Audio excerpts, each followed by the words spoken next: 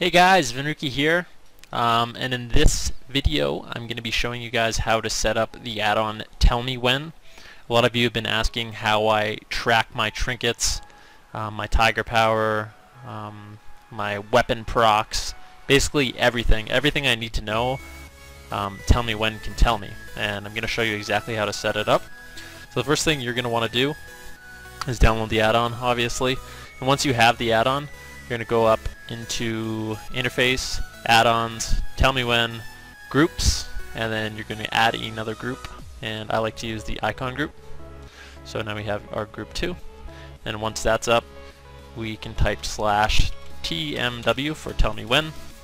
And now we have this empty bar. You can just ignore this bar down here for now. That's my fully set up one. I'm going to show you how to set up one from scratch. So as you can see, I like to track a lot of different things. The first thing we're going to set up um, we're going to choose an icon type and it's going to be buff and debuff. Pretty much everything we're tracking is a buff and a debuff and we're going to go through the list of things we want to track. The first thing I like to track is Tiger Eye Brew. So I like to track two things with Tiger Eye Brew. Um, when I actually use my Tiger Eye Brew stacks, so I know how long it's up for, as well as the amount of stacks I have. So the first one is this ID 125195 and this um, tracks our stacks. So we're going to click on that. Then we're just going to hit OK. That one's being tracked now. Next one, buff and debuff. And now we're going to track um, our Tiger Eye Brew as we actually pop it. So we have a little reminder that it's up and it can tell us how long we actually have it up for. So that's number two. Number three, another buff and debuff. Uh, we're going to be tracking Tiger Power. Tiger Power. So we don't let our Tiger Power fall. It's very important to have that armor penetration. And it's nice to know when it's up. Very convenient. Next up, um, Rapid Adaptation. And that is our Trinket proc. So there it is. Or that's not our Trinket proc, that is our on-use Trinket. And if you run out of uh, space here, what we have to do I believe, is group settings, and then we can add more columns, so you can change it here. Let's do, how many do we want? Four, five, six, seven, eight, nine, I think. Yeah, nine. Boom. So now we have nine. The fifth thing we're going to track, go back to main, buff and debuff, is our Surge of Conquest, so our proc trinket. Surge of Conquest. Agility proc. And then we will be tracking Tiger Strikes. And this add-on's a little bit of work to set up, but I promise you once you have it set up, um, it's very, very worth it. It's also very useful if you guys play Mage, uh, or really any class, as long as you can find the buffs. So for Mage, for example, I like to track my Incanter's Ward, my Proc Trinket, my On-Use Trinket, and my Mark of the Warsong, for example. So I know when all those are up and I can do max damage possible.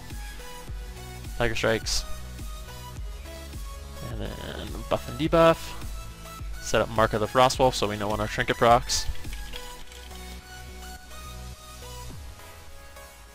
Well, I'm not even using Mark of the Frostwolf right now, so I could switch it up to um, a different trinket, Mark of Warsong. Let's see if we can find that. Mark of Warsong.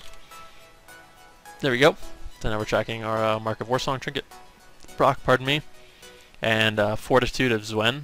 This is another one I really like to track. So when I uh, use my Tiger Brew stacks, I can track when I have my shield wall up. And that's what it's called for Fortitude of Xuen. So I know when I'm taking less damage, I can be a little bit more reckless. And then the last thing I like to track, which is really, really useful, is the uh, Storm, Earth, and Fire. So it's called Storm, Earth, and Fire.